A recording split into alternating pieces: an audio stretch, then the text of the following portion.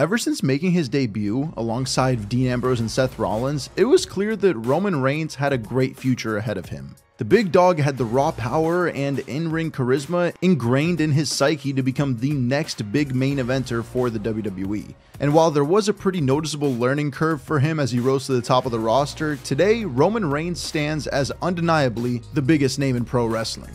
Following his heel turn at the 2020 SummerSlam event, it felt like the cage that had trapped Roman for nearly a decade had been broken wide open. No longer was he an unnatural hero, failing to get the WWE Universe behind him. Now, Roman is just an unstoppable juggernaut in WWE.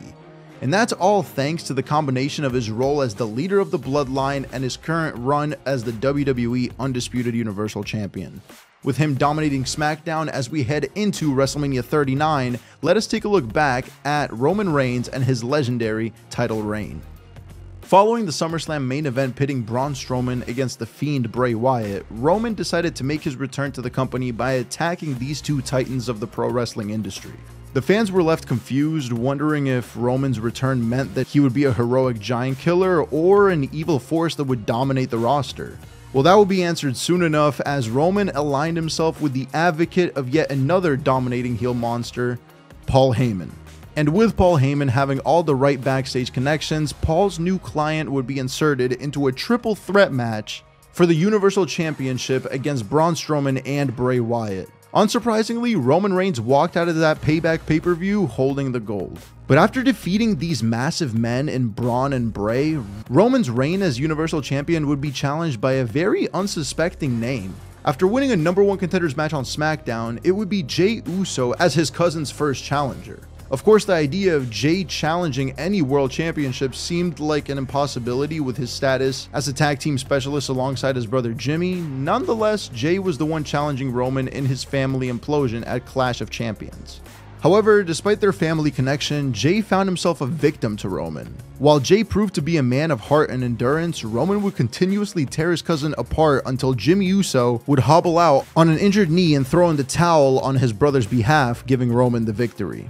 But Jey's performance proved to the WWE that he was much more than just another tag team guy. So when Jey approached Roman with the prospect of a rematch, Roman couldn't help but agree, and after a quick title defense against Braun Strowman, Roman would go on to the Hell in a Cell event to face off against his cousin once again. However, if Jey thought it was difficult before, then he would be in for a major surprise as their rematch would be contested in an I Quit match all inside of the Hell in a Cell structure. If Jey wins, he leaves as champion. If he loses, then he must follow Roman's orders and address him as the tribal chief which he would do following this event as Roman would beat down the injured Jimmy Uso right in front of his brother until Jey would finally hand his cousin another victory by uttering the words, I quit. Reigns had fully transformed. Just a year prior, Roman was playing the role of sympathetic hero. Now he was the leader on his island of relevancy using Paul Heyman and the Uso brothers to do his bidding. The twisted mob boss of WWE would continue to dominate SmackDown at this point. At Survivor Series, Roman would defeat the WWE champion champion Drew McIntyre in a match pitting the top champions of Raw and SmackDown against each other. That is, before promptly entering a title program with the former Universal Champion Kevin Owens. During this feud with the prize fighter, Roman would see himself just barely hold on to his title because at the 2020 TLC event, Roman successfully defended his championship via the assistance of Jey Uso. But Kevin wasn't going to take his loss lying down, so on the Christmas edition of SmackDown, Roman would once again find himself tangled up in a battle against Kevin Owens. This time, though, their fight would take place inside of a steel cage. And while Owens may have thought that the added cage structure would help him in his quest to become champion, all it did was prolong the inevitable as Jey Uso would once again help Roman to retain his championship by handcuffing Kevin Owens to the cage structure itself. Twice now, Kevin was screwed out of the Universal Championship. So he decided to settle it once and for all at the Royal Rumble event. However, Roman would still find himself on the receiving end of a victory with Paul Heyman proving to be a distraction for Owens. And while Kevin desperately wanted another shot at Roman, he would have to wait quite some time before getting it as the tribal chief would look toward the WrestleMania main event, pitting himself against Daniel Bryan and the 2021 Royal Rumble winner, Edge. After multiple defenses against Daniel Bryan at the Elimination Chamber and Fastlane events, Bryan would still find himself in the main event of WrestleMania after being screwed over in his previous battles. Of course, Edge's position in the match was already guaranteed with his Royal Rumble victory, so now Roman was forced to prepare himself for a high stakes triple threat contest against two of the best wrestlers in WWE history.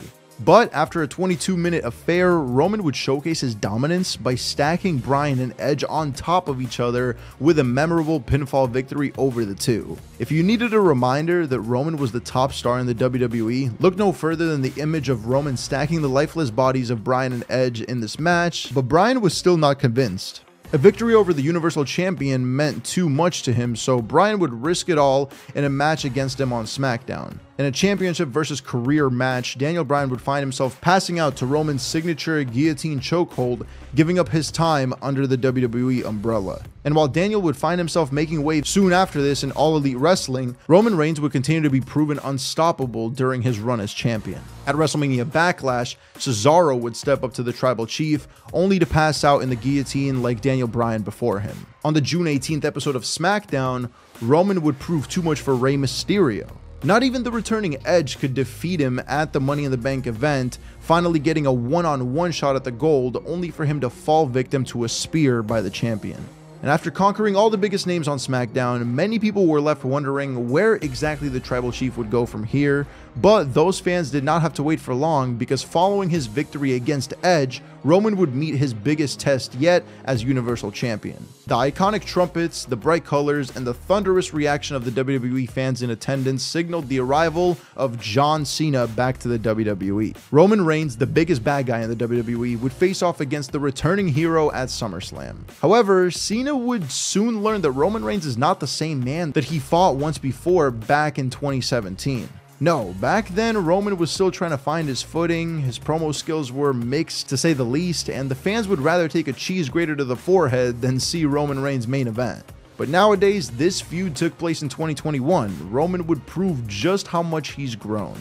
Roman Reigns was sprinting towards superstardom as Cena was tripping over himself and trying to keep up. And at SummerSlam, Roman would once again defeat Big Match John in front of a packed crowd.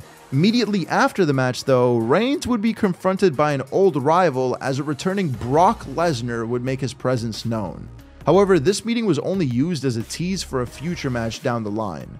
For now, Reigns had his hands full with the next challenger, Finn Balor. With the assistance of a low blow by Roman, Balor would end up losing his chance at glory on the September 3rd episode of SmackDown. However, like Kevin Owens before him, Finn would not let this blatant cheating slide, so Balor would once again challenge for the Universal Championship in an Extreme Rules match. Balor even went all out in this match, bringing back his demon persona for the big fight. The demon even looked to have the match won, with him holding Roman off long enough to climb to the top rope for the coup de grace, but then Balor's chances would crash down almost as hard as his face crashed down into the mat. Right before he could hit the move, the top turnbuckle seemed to explode off, with Finn falling down hard to the mat. Dazed and confused, Balor would get back up to his feet only to be met with a spear as the tribal chief would retain his championship. But after arguably one of the worst moments during his reign as champion, the two would go their separate ways. Balor would head off to Raw and Roman would enter the belly of the beast incarnate. Yes, at the Crown Jewel event in October, Roman would find himself squaring up against Brock Lesnar in their fifth singles match throughout their careers. And while this match would bore most fans in prior years, it's fair to say that this rendition of their battle had a lot more intrigue by the WWE Universe than usual. This time, Brock was taking on a newer, darker version of his rival, and while the fight was a hard hitting affair between the two competitors, Roman would once again find himself on the receiving end of a victory as the Usos would interfere in the match and cost Brock the title. However, Brock was still clamoring for a shot at Roman, so when Roman was set to defend his title against Sami Zayn on SmackDown a few weeks later, Lesnar made sure that Sami would be unfit to compete with a brutal attack moments before the bell. Of course, Roman would defeat Sami in only a few seconds, all to the joy of Lesnar, and as the match was scheduled at the day one pay-per-view, Brock was set to go one-on-one with Roman Reigns once again.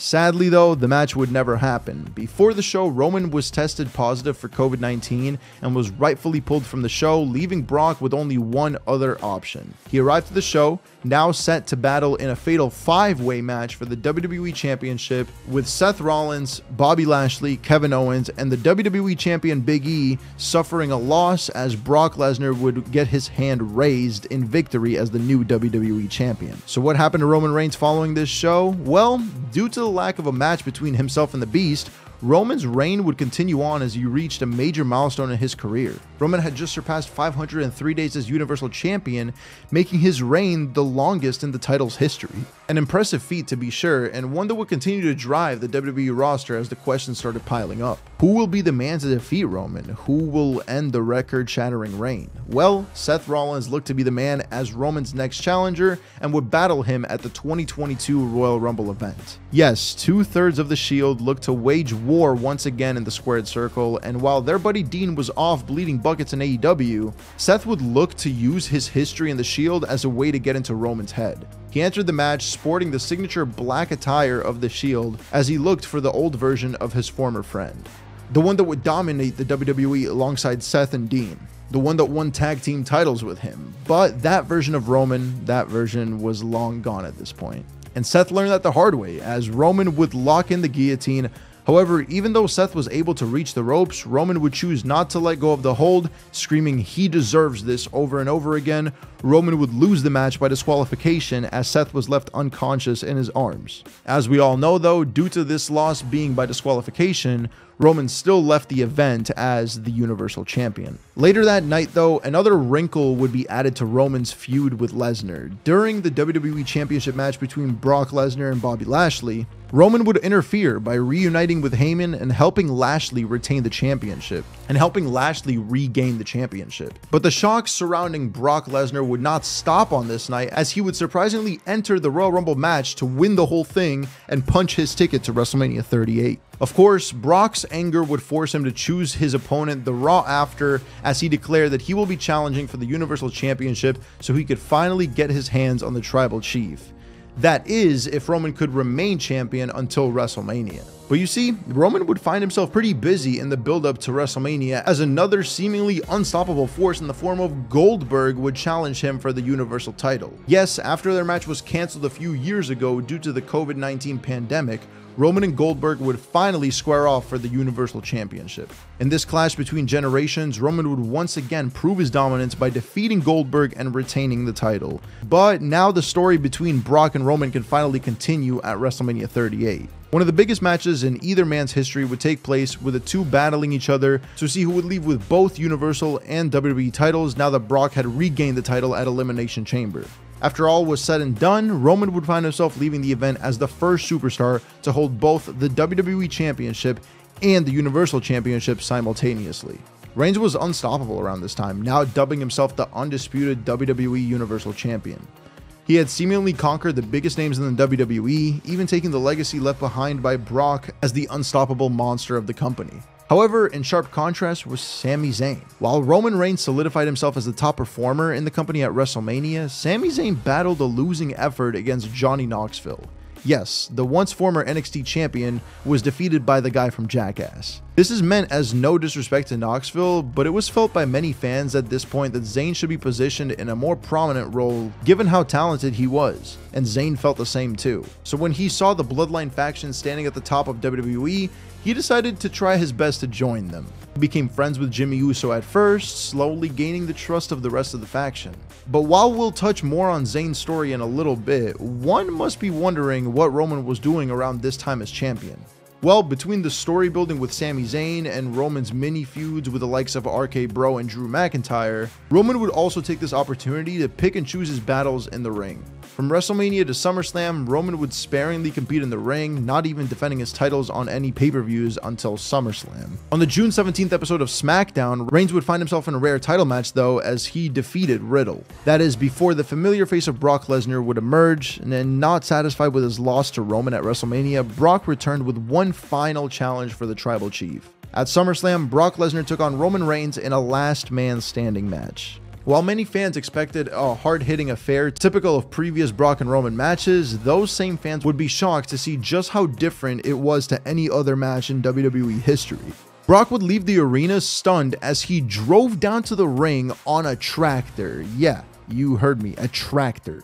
He then, even more surprisingly, decided to destroy the ring during the match with that very same tractor. And honestly, it's one of the most chaotic and bizarre matches in WWE history in the best way possible. But after all the carnage, Roman still found himself staring down at Brock Lesnar as the championship reign would continue.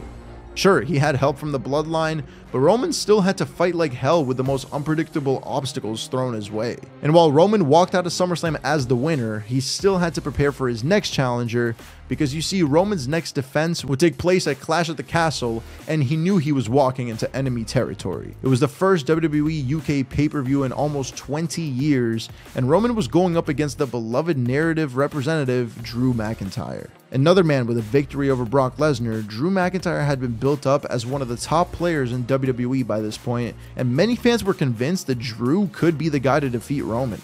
He had the in ring skills, the entertaining promos, and the hometown crowd all on his side. But there's no way he could have predicted Roman's ace in the hole. After Drew hit his final claymore of the match, he went to cover Roman and right as the referee started the count, he would be interrupted by a debuting Solo Sikoa, who pulled him out of the ring just before he could declare Drew as the new champion. Roman then took advantage of the distraction, spearing Drew McIntyre to retain his titles before declaring that Solo was the newest member of the Bloodline. The Bloodline faction was growing, as Solo joined just before Sami Zayn was also officially made a member of the group, gaining the title of Honorary Uce.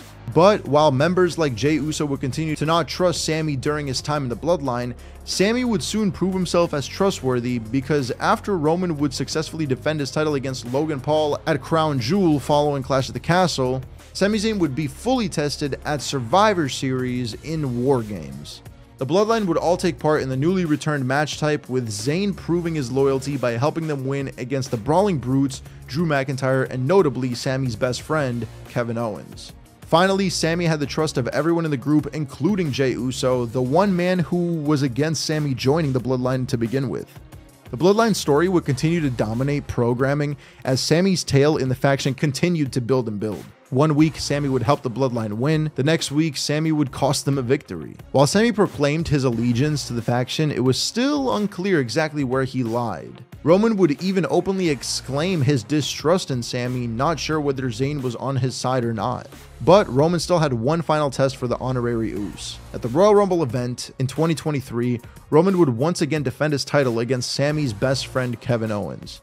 And throughout the match, it was hard not to keep your eyes off of Sami. His facial expressions would change rapidly depending on who was winning, and it was unclear where Sami's allegiances lied. But then, following the match and another successful retention for Roman, the bloodline would tear Kevin apart. He was a victim to an intense beating, all while Sami was forced to watch. And when Roman finally gave Sami a chair to join in on the beatdown, Sami shocked the world as he used it. But he didn't use it on Kevin, no. Instead, he decided to attack Roman before finding himself getting beaten down by the now betrayed champion. Notably though, Jey Uso would walk away from the situation, choosing not to join in on the attack. The bloodline was now in despair, and it was all due to the actions of Sami Zayn. And at the Elimination Chamber, Sami Zayn would get his shot against Roman. After months of squeezing himself into the bloodline, Zayn would finally end up betraying Roman and getting a shot at the WWE Undisputed Universal Championship. However, despite the Montreal crowd pulling for their hometown hero, Zayn would fall like so many before him, and while he fought as hard as he could, Zayn failed in defeating Roman Reigns, which many fans, including myself, were very upset about. But now the stage is set, at WrestleMania 39, Roman Reigns will once again walk in as champion as he faces off against this year's Royal Rumble winner, Cody Rhodes. Reigns has held the title now for over 900 days, defeating the biggest names in the WWE during that time. Daniel Bryan, Kevin Owens, Edge, Goldberg, Brock Lesnar, they've all fallen to the tribal chief. And while WrestleMania is just around the corner, with many fans predicting that it's Cody's time in the sun, I wouldn't be so fast to place your bets on him. While it's likely that Cody will be the one to defeat Roman, there's still a massive chance that he will be added to the list of names conquered by the tribal chief Roman Reigns. Because after all, Roman's legendary title reign is just that legendary. He put on some of the most intense matches, he's had some of the best promos of his entire career during this reign, and has been a part of some of the greatest stories in WWE history during his run on top. So if Cody isn't the one to defeat him and Roman does go on to surpass 1000 days as champion, then you really have to wonder what's next for Roman's iconic run as champion. And you have to wonder who, if anyone, will be able to knock the tribal chief off the top as head of the table.